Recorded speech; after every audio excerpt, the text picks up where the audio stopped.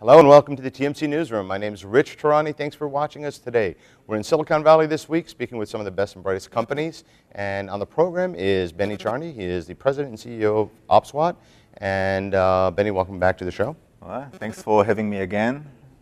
It's uh, our pleasure. I thought for those people who may not be familiar, could you give us the overview of what your company does? Yeah, sure. So uh, at OPSwat, we manufacture uh, four uh, different uh, technologies that uh, cross-enhance each other. So we have OESIS Framework. It's a manageability and security toolkit that enables companies like Cisco, Juniper, HP, Nomera to build compliance tools, manageability tools, support tools, uh, SSL VPN and ARC enforcement tools. Uh, that's OESIS framework. We have uh, Metascan, which is a multi-scanning tools. It's scanning content with more than one antivirus engines, actually many antivirus engines in parallel and really fast. We have sandboxing technology. It's a technology that uh, enables uh, anybody to run an executable on a a, a pseudo virtual environment really fast and uh, launch this executable in this secure environment uh, used to the, today as a secure virtual desktop uh, launched by uh, SonicWall, so hundreds of customers. And then we have also technologies for URL filtering on both client side and also on the server side.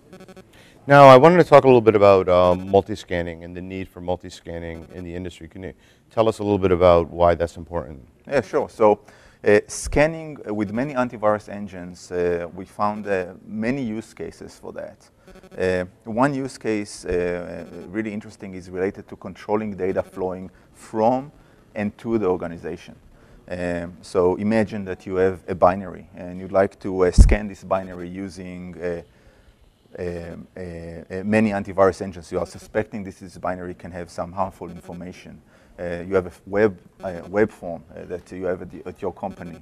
Uh, you have a USB stick that you're actually going to get to your company. So one really interesting use case is actually controlling the flow and then adding our Metascan product to, to, the, to, to this workflow.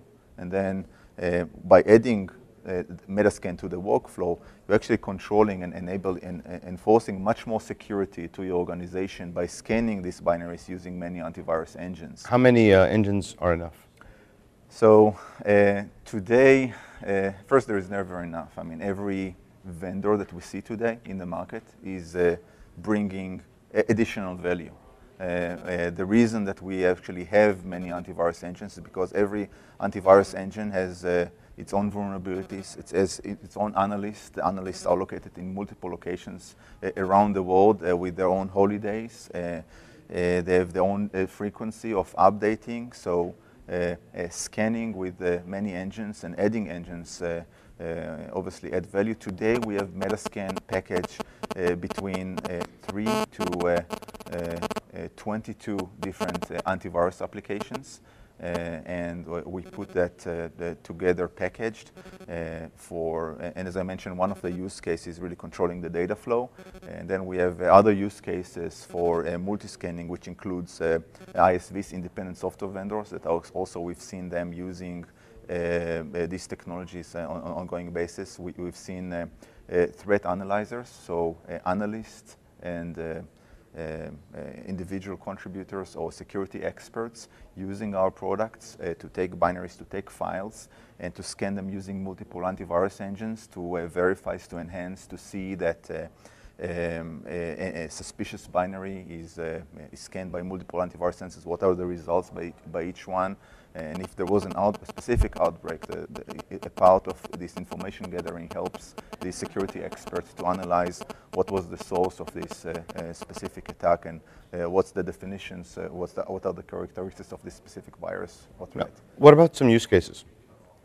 So uh, additional use cases uh, for independent software vendors includes scanning a binary prior to releasing it. So can give you examples of, uh, uh, uh for example, uh, Microsoft admitted that they actually find viruses in their release cycles.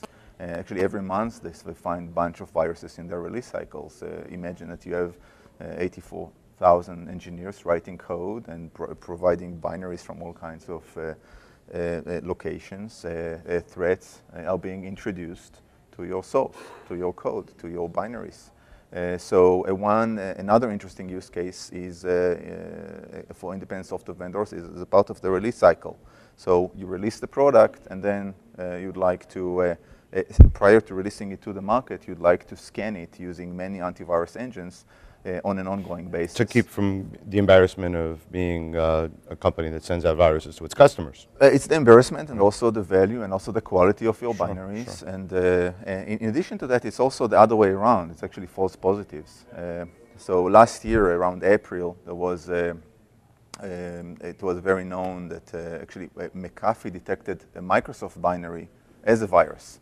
So um, that caused millions of machines to crash.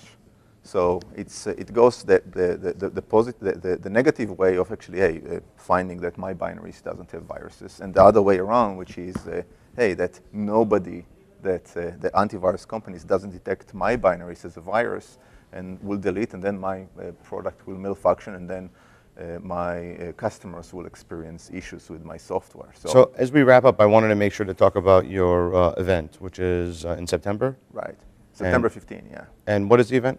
So it's the, our second OPSwat user conference, and uh, everybody can log on to opswat.com, uh, read about this event. Uh, it's we are calling partners, customers from all around the world to join this event.